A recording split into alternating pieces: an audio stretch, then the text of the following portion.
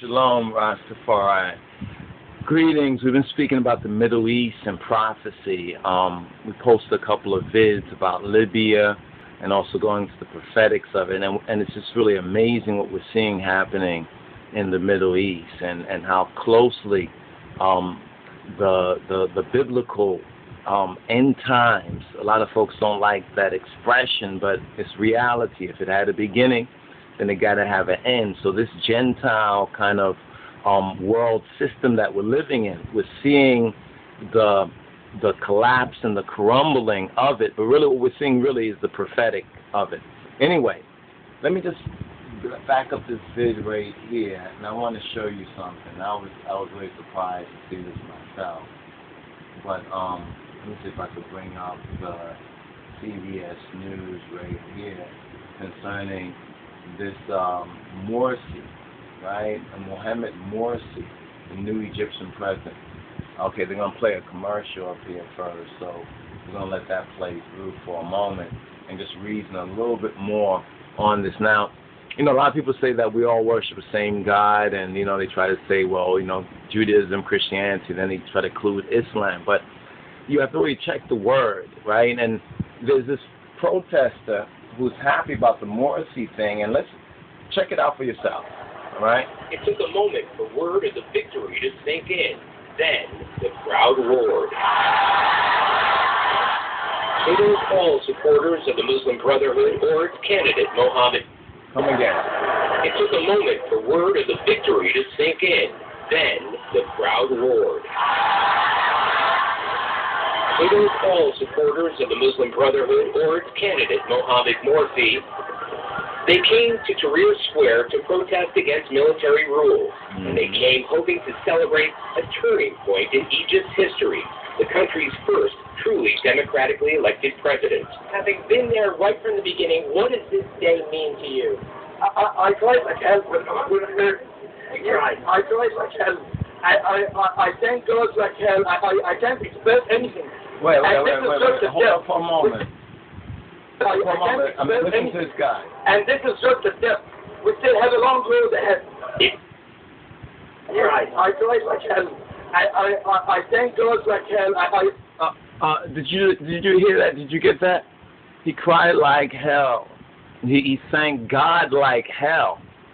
Remember this this candidate in this Egyptian election, you know, is is the so-called religious or the the Islamic Brotherhood and the whole Al Qaeda and Islamic Caliphate state and all their, new world order.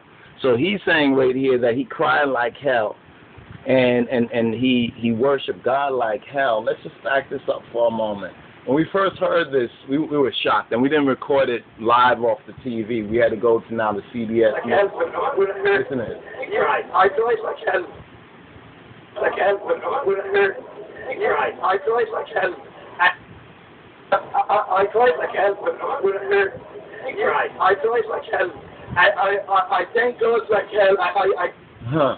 having been there right from the beginning, what does this day mean to you? I, I, I try as I can with, with. Right. I try as I.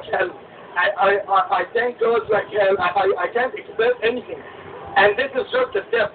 We No, no, no. long He road expressed, ahead. uh, he, It was close. he expressed a lot of rhetoric. said Mohammed. One more time. Having been there right from the beginning, what does this day mean to you? I, I, I try as I can with, with her. I try as I can. I, I, I, I thank God as I can. I, I, I can't. I mean, come on now, people.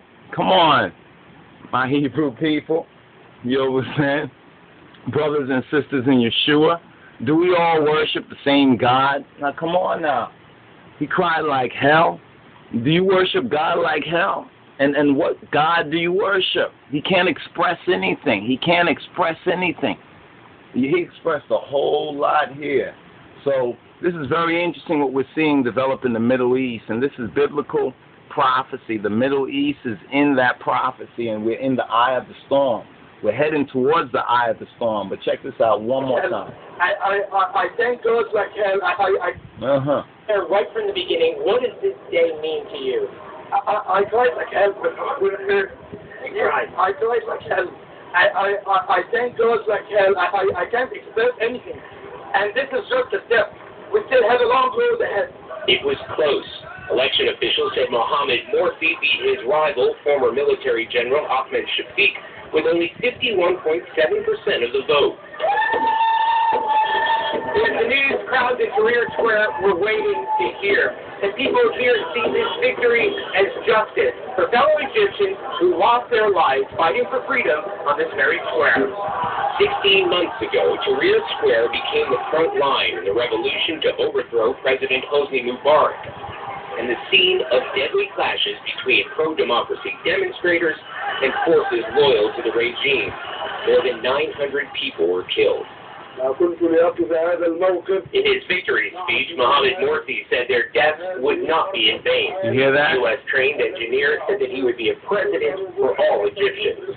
Uh, you hear what he said right there? Their deaths will not be in vain. You, you don't understand Sharia.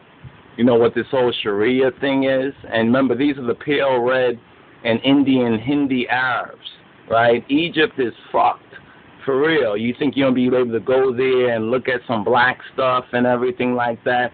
Go and like sightsee the pyramids and all of that?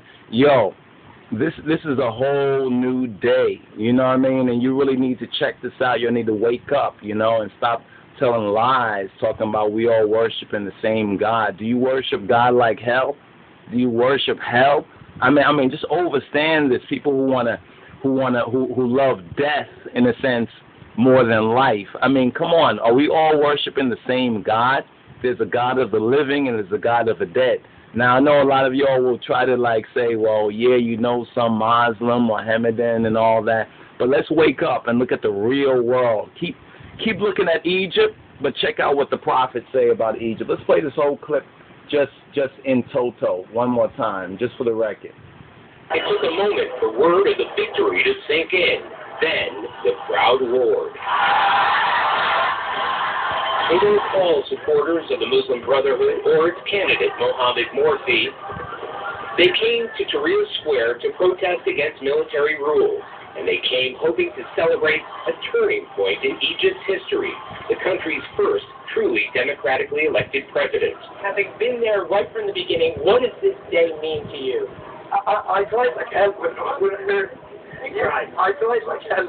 I, I, I, I thank God like hell. I, I, I can't express anything. And this is just a step. We still have a long road ahead. Hmm. It was close.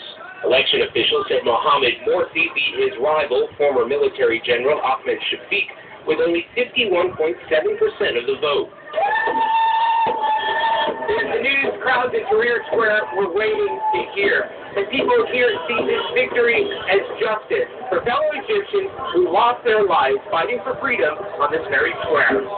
16 months ago, Tahrir Square became the front line in the revolution to overthrow President Hosni Mubarak and the scene of deadly clashes between pro-democracy demonstrators and forces loyal to the regime. More than 900 people were killed.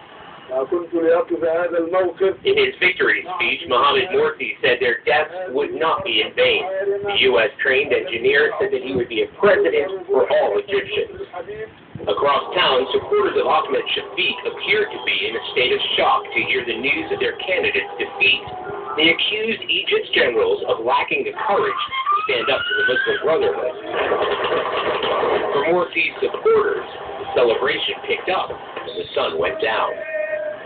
There's no doubt these celebrations will go on all night, but tomorrow Tahrir Square goes back to being a protest camp when the Muslim Brotherhood resumes its campaign to get Egypt's parliament back in session and try to restore some presidential powers. Jeff? Charlie D'Agata, thank you. Hmm. Well, there you have it.